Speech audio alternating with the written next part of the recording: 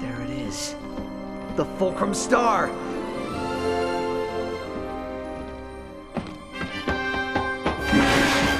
Ah. Watch your step there, laddie. X doesn't always mark the spot.